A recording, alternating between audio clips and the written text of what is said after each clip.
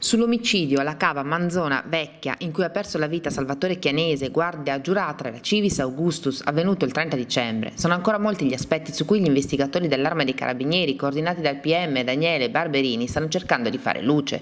Da dove ha sparato il killer?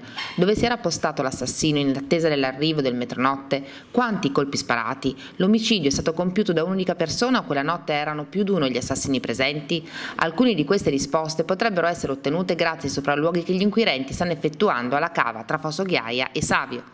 Questo pomeriggio intorno alle 15 alla cava i carabinieri sono tornati sul luogo del delitto assieme a due colleghi del RIS di Parma giunti a Ravenna come consulenti balistici incaricati dalla procura di stabilire la dinamica dell'omicidio e ricostruire il maggior numero di elementi possibili sul luogo del delitto da incrociare con le verifiche che verranno fatte sulla vettura. Gli esperti balistici si sono fermati all'ingresso della cava per circa un'oretta, hanno osservato a lungo il punto in cui ha trovato la morte chianese, mentre si sono concentrati meno sulla zona circostante. I due consulenti balistici tornano torneranno a Ravenna nelle prossime settimane per mettere insieme i diversi pezzi di questo puzzle che al momento non sembra trovare una rapida soluzione, mentre da parte degli inquirenti continuano gli interrogatori per cercare di dare un volto all'assassino e trovare una risposta all'altra grande domanda, perché Chianese è stato ucciso?